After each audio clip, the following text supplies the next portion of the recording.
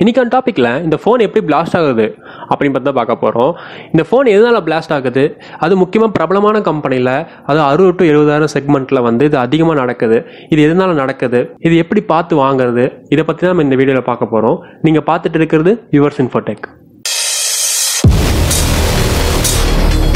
இந்த பிளாஸ்ட் எப்படி நடக்குது அப்படின்னு அதை பற்றி பேசுறதுக்கு முன்னாடி நான் உங்களுக்கு ஒரு சின்ன விஷயம் ஞாபகப்படுத்தணும்னு நினைக்கிறேன். அது என்னன்னு பார்த்தீங்கன்னா ரெண்டாயிரத்தி பதினேழில் சாம்சங்கில் நோட் செவன் ஒரு மாடல் வந்து வந்திருந்தது. அப்போது அந்த ஃபோன் பிளாஸ்ட் ஆயிருந்தது. அது நியூஸில் ரொம்ப பிரபலமாக பேசப்பட்டது நம்ம எல்லாத்துக்குமே தெரியும். அந்த ஃபோன் பிளாஸ்ட் ஆனது ஒருத்தர் ரெண்டு பேர்த்து கிடையாது. கிட்டத்தட்ட ஒரு பத்து பேர் அந்த ஃபோனை வாங்கியிருந்தாங்க. அவங்க எல்லாத்துக்குமே இதே இஷ்யூ நடந்தது. அப்போது சாம்சங் என்ன பண்ணாங்க? அந்த ஃபோனை வாங்கி அதை அனலைஸ் பண்ணி அதை சரி பண்ணி மறுபடியும் புது ஃபோனாக அவங்கள்ட்ட தந்தாங்க. அப்பயும் அந்த பிளாஸ்ட் நடந்திருந்தது. அதுக்கப்புறம் அந்த நியூஸ் வந்து காலப்போக்கில் அது மறைஞ்சிச்சு ஸோ இப்போ ரீசெண்டாக ஒன் மந்த்துக்கு முன்னாடி சாம்சங் எஸ் டென் அப்படின்னு சொல்லி ஒரு ஃபைவ் டி ஃபைவ் ஜி டெக்னாலஜியில் வந்து அந்த ஃபோன் வந்து லான்ச் பண்ணியிருந்தாங்க நம்ம இந்தியாவில் ஸோ அந்த ஃபோனும் பிளாஸ்ட் ஆயிருக்கு. ஆனால் அது இந்தியாவில் கிடையாது சவுத் கொரியாவில் அது எப்படின்னு பார்த்தீங்கன்னா அந்த ஃபோன் வாங்கின நபர் வந்து ஒரு ரெஸ்டாரண்ட்டில் போய் சாப்பிட்ருக்கிறப்போ அந்த ஃபோன் வந்து ஓவர் ஹீட் ஆகிருந்தது அப்போது அந்த ஃபோனை ஹீட் ஆன உடனே கீழே போட்ட வாட்டி அந்த ஃபோன் எரிஞ்சு வெடிச்சிருச்சு. இந்த இஷ்யூ சாம்சங்கில் மட்டும்தான் அதிகமாக நடக்குது. அப்படின்னு கேட்டிங்கன்னா கிடையாது. ஐஃபோன் நடந்திருக்கு. மெஜாரிட்டின்னு பார்த்தீங்கன்னா சாம்சங் தான். ஏன் வந்து சாம்சங்கில் அடிக்கடி இந்த மாதிரி இஷ்யூ வந்து ப்ரொவைட் ஆகுது?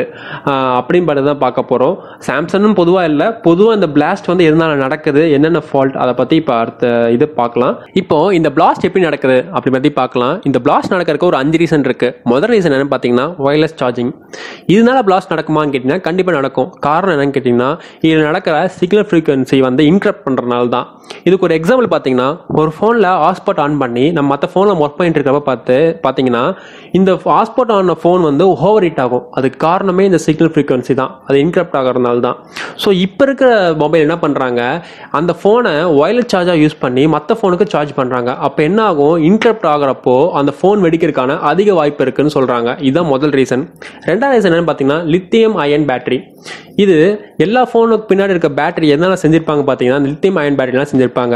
இதனால எப்படி இதாகுதுன்னு கேட்டிங்கன்னா நம்ம ஃபோன் யூஸ் பண்ணிட்டு இருக்கப்போ எதாத்தமாக கீழே விழுகும் அந்த டைமில் இந்த என்ன ஆகும் அந்த வைப்ரேஷன் மூலிமா இந்த லித்தியம் அயன் பேட்டரிக்கு ஒரு ஷார்ட் சர்க்யூட் ஆகி அதுலேருந்து வெடிக்கிறதுக்கான வாய்ப்பு அதிகமாக இருக்குன்னு சொல்லி சொல்கிறாங்க இதான் ரெண்டாவது ரீசன் மூணாவது பார்த்தீங்கன்னா எம்ஏஹெச் பேட்டரி இது வந்து பேட்டரியோட கெப்பாசிட்டி தான் எம்ஏஹெச்னு சொல்லுவாங்க. உதாரணத்துக்கு ரெண்டாயிரத்தி ஐநூறு மூவாயிரம் நாலாயிரம் எம்ஏஹெச் அப்படின்னு சொல்கிறது தான் இது. இதனால ஆகுமா அப்படின்னு கேட்டிங்கன்னா ஆகும். ஏன் எப்படி ஆகும்னா இப்போ ஒரு எக்ஸாம்பிள் இப்போ நம்ம கம்ப்யூட்டர் எடுத்துக்கலாம். அந்த கம்ப்யூட்டர் இருக்கிற மதர் போர்டு வந்து எந்த அளவுக்கு கெப்பாசிட்டியோ அந்த அளவுக்கு தான் ரேமையும் ஸ்டோரேஜும் நம்ம ஃபிக்ஸ் பண்ணுவோம்.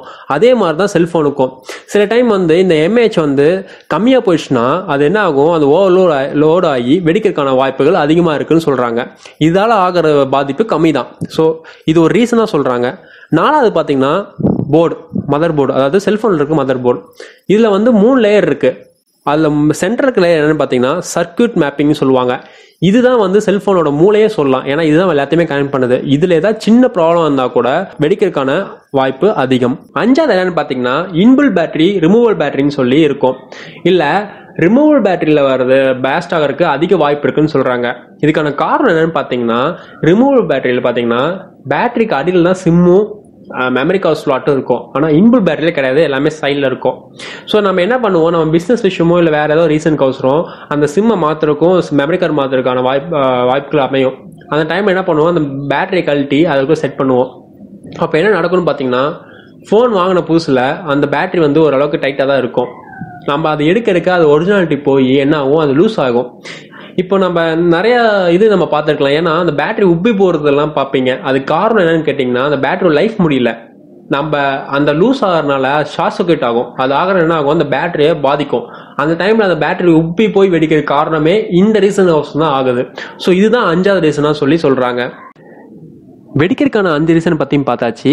இப்போது இந்த மாதிரி ஃபோனை நம்ம எப்படி ஐடென்டிஃபை பண்ணி வாங்குறது பற்றி பார்க்கறதுக்கு முன்னாடி இப்போ எல்லாத்துக்கும் ஒரு டவுட் இருக்கும். அது என்னன்னு பார்த்தீங்கன்னா ஏன் அறுபது டு எழுபதாயிரம் அந்த மாதிரி ஹையர் பட்ஜெட் இருக்கிற ஃபோனு வெடிக்குது?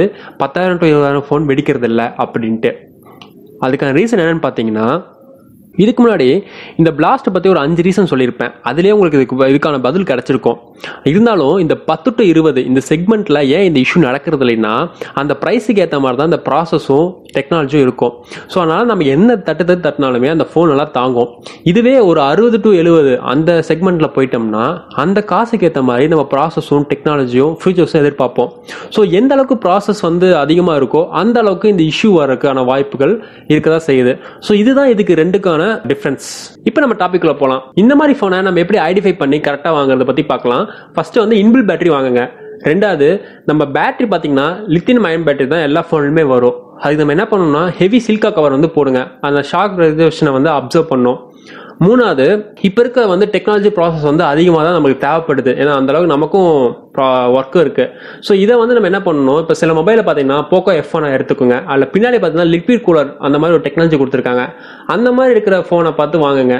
ஸோ நம்ம அந்த ஹீட் ரிஜிஸ்ட்ரேஷன் பண்ணுறதுக்கு உதவி செய்யும். நாலாவது ஒயர்லெஸ் சார்ஜிங் ஒயர்லெஸ் சார்ஜிங் வந்து உங்கள் ஃபோனுக்கு இருக்கிற மாதிரி வாங்குங்க. உங்கள் ஃபோனை வச்சு மற்ற ஃபோனுக்கு சார்ஜ் பண்ணுற மாதிரி வாங்காதீங்க. ஏன்னா அது ரொம்ப நம்மளுக்கு பாதிப்பை ஏற்படுத்தும். நீங்கள் ஒரு ஃபோன் வாங்கணும்னா இந்த இன்ஸ்ட்ரக்ஷனை ஃபாலோ பண்ணாலே போதும். இந்த பிளாஸ்ட் ஷோ ஈஸ் ஹீட்டு இந்த மாதிரி ஆகிறத வந்து நீங்கள் தவிர்க்கலாம். ஸோ இந்த இன்ஃபர்மேஷன் உங்களுக்கு ரொம்ப யூஸ்ஃபுல்லாக இருக்கும்னு நான் நம்புகிறேன் இதே மாதிரி ஒரு இன்ட்ரெஸ்டிங்கான டாப்பிக்கில் அடுத்த வீடியோவில் பார்க்கலாம். ஓகே ஃப்ரெண்ட்ஸ் தேங்க்யூ ஃபார் வாட்சிங் இந்த வீடியோ உங்களுக்கு பிடிச்சிருந்தா லைக் அண்ட் ஷேர் பண்ணுங்கள் மறக்காமல் சப்ஸ்கிரைப் பண்ணுங்கள் பக்கத்தில் பெல் ஐக்கானை கிளிக் பண்ணுங்கள் நாங்கள் போகிற புதிய வீடியோ உங்கள் பார்வைக்கு